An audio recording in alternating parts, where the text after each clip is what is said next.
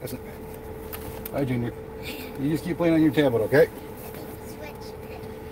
All right, so I keep getting asked for an update on what's going on in Olmos Park, and until late last week, I couldn't say anything because of my lawyers telling me, "Hey, Jim, you, you can't fucking say anything." I can say that because this isn't monetized and it's not for kids, so fuck. Anyways, so here's what's going on. Um, pretty much Olmos Park, as you guys didn't notice what happened with Jack Miller we thought they had maybe learned and calmed down because for the last couple years they kind of kept their nose clean. Well, Jack Miller kept pushing them and kind of pissed off Chief Valenciano. So I guess they decided, yeah, we can still do whatever the hell we wanted to. So they're still up to their old tricks, and they pretty much charged him identically to what they charged CJ with and and me. Well, they got CJ with assaulting an officer because you know they brushed an officer's hand and he felt pain. whatever, bunch of pansy asses. Anyways, so Olmos Park obviously hasn't learned. They haven't changed their SOP. They still have the exact same officers in play as they did two years ago. They haven't had any type of uh, administration leave. They haven't fired any officers. As far as we know, they haven't had any retraining. Basically, they said, hey, we investigated ourselves and we thought what we did was perfectly fine, so we're going to continue doing what we're doing. Uh, it's, I, it's hearsay that the city council attempted to uh, rectify it by possibly taking action against the chief of police, but CLEAT, which is basically the the chief of police of Texas, stood up and said, "If you do anything against him, we're going to sue the hell, the hell out of you guys." So it never happened.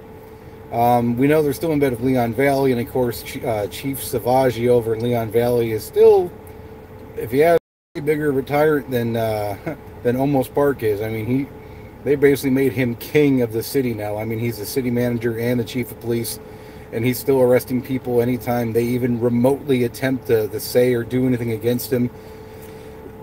he's trying to get federal warrants right now for Google to find anyone who's making negative comments against himself, city employees, or the officer to try to bring them on a RICO case for organized crime to go and uh, conduct arrest warrants to arrest people for retaliation against police in a RICO case.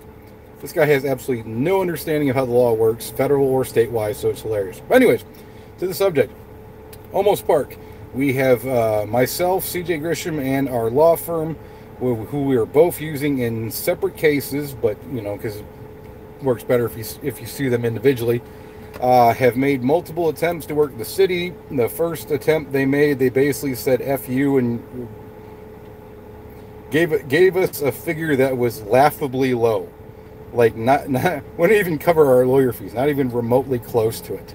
Uh, second time they came back with the same figure. Third time they came back with uh, a slightly larger, like fifty percent more, which is still like I, I make a I make a good amount of money. You know, like they they they brought what would be like 5% of my yearly income as a, as a figure. It's like, you know, you know, I'd have surgery and I was out of work for a long time, and you guys are trying to basically give me what would be the equivalent to like half a month's pay, even though I was out of work for like six months. Like, yeah, go after yourself.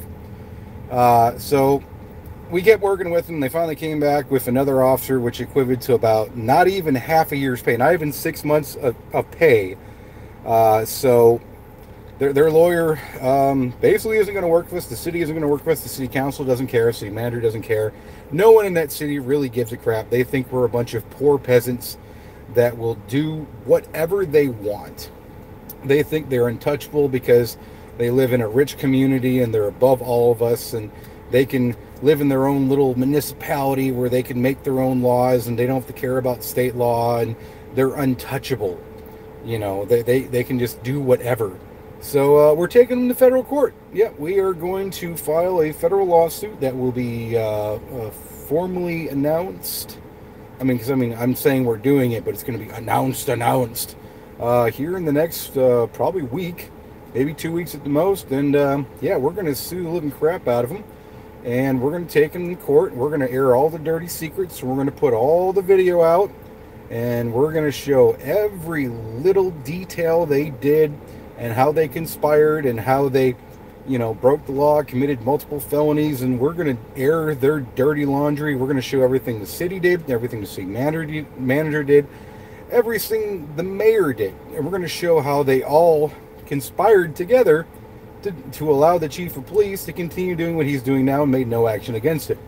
And we're going to make sure that the entire state of Texas, when it comes along, because I have all my recordings from Baxter County, uh, or the Baxter County Sheriff's Office, from the Baxter County uh, DA's office, from San Antonio, from the Texas Rangers, from Dan Patrick's office.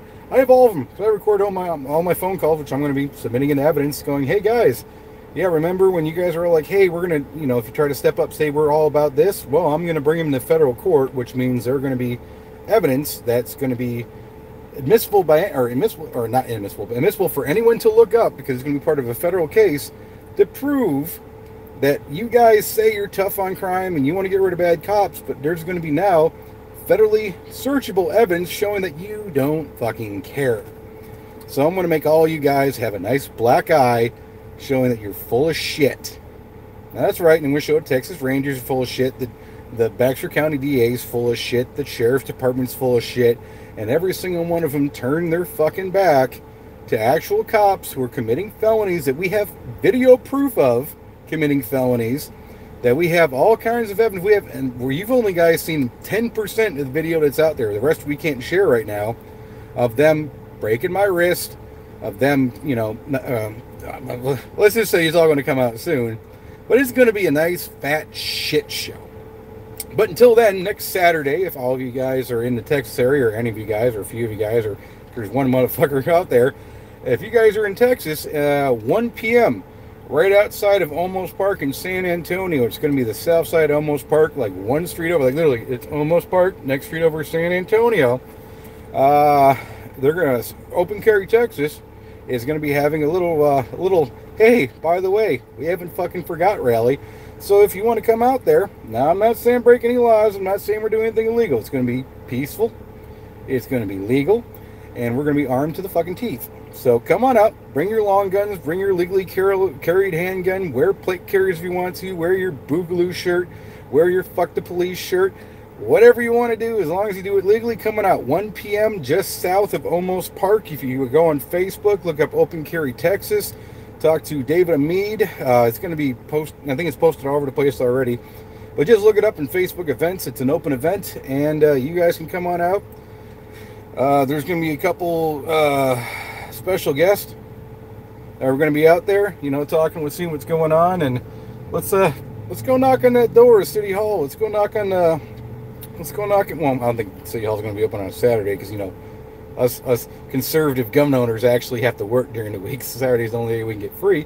But for everyone else, let's go knock on that door of the police department, see if they have anything to say. See see what happens if they're if they're going to be big badass bullies when it's not just one dude with an airsoft rifle who's trying to you know put his hands up and say okay okay versus I don't know 100, 200, 300 people armed to the fucking teeth who can actually defend themselves. So guys got any questions, comments, or concerns? The camera's over here on my phone. Uh, go ahead and leave a message. I'll get back to you when I can. I'm on my phone right now, so I can't scroll while making sure I'm not looking like a complete fucking idiot while recording. And I will get back to you. All right, y'all fuckers, take it easy now.